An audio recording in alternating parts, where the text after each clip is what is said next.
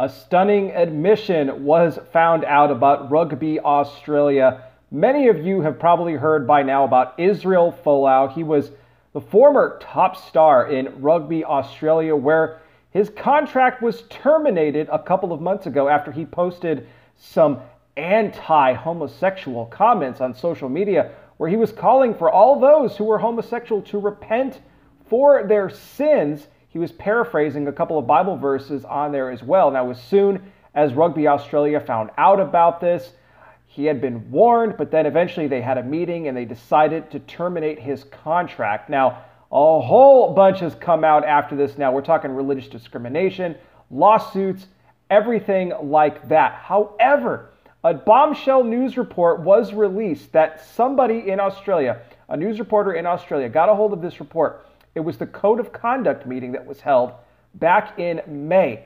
And stunningly, when asked the question, this is to one of the executives for Rugby Australia, they said, now if Mr. Folau, let's just say, was to, let's say, you know, photocopy some scriptures directly from the Bible and then post those onto Instagram, would that be considered to be a violation as well? Would you have terminated his contract as, as the same? And they said, well, what, you know, what particular scriptures are you talking about? And they said, well, the ones that specifically referred to homosexuality being a sin.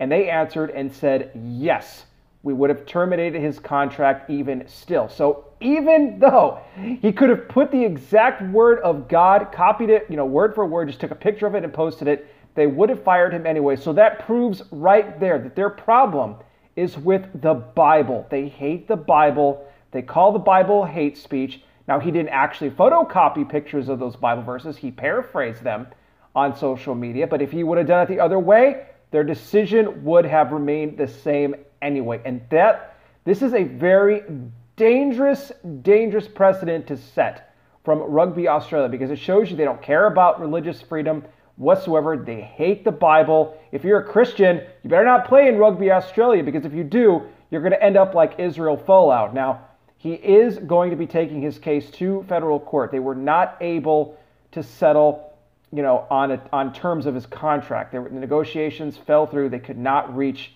a deal on that. So now it's going to head to federal court, and I hope he wins this because this would send shockwaves through not just Rugby Australia, but any other sporting organization there in the country.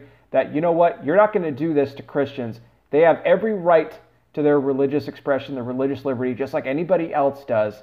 Uh, this is a bad look for Rugby Australia. This is a really, really bad look. But you know what? This is the last days. We're going to see this happening more and more, where they are going to look at the Bible as nothing more than hate speech. And if you agree with it, if you agree with the verses that are in it, then you will be deemed a problem, and they will do everything they can in their power to get rid of you. But guys, I want to hear from you. What do you think about this stunning admission from Rugby Australia. Let me know. Sound off down below if you enjoy these videos. Please consider giving them a like and a share. Also subscribing here if you are new. I greatly appreciate all of your support. Thank you so much for spending a couple of minutes of your day with me today. I'll be back with more. You guys take care. Please be safe out there. God bless each and every single one of you, and I will talk with you soon.